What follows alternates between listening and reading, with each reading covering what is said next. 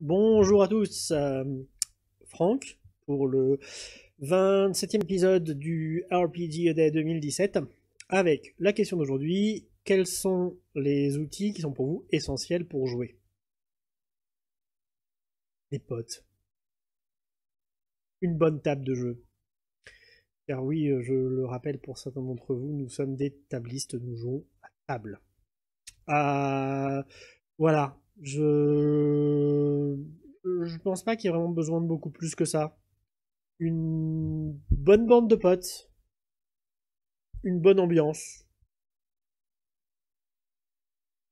un bon contrat social pour être sûr que tout le monde rigole dans le bon sens.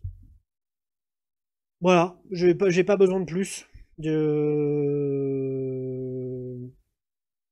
On peut jouer sans dés, euh, on peut jouer sans fiche de perso, on peut jouer sans carte.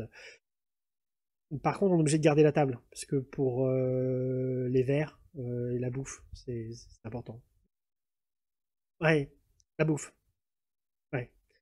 On, on mange quand on joue, nous, mais on boit aussi.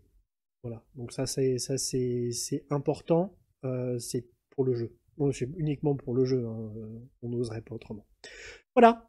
Euh, on a une série de questions qui est, qui est beaucoup plus... Voilà.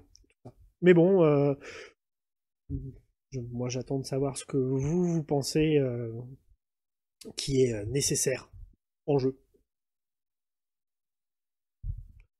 Bonne lecture pour un bon jeu. Et puis bah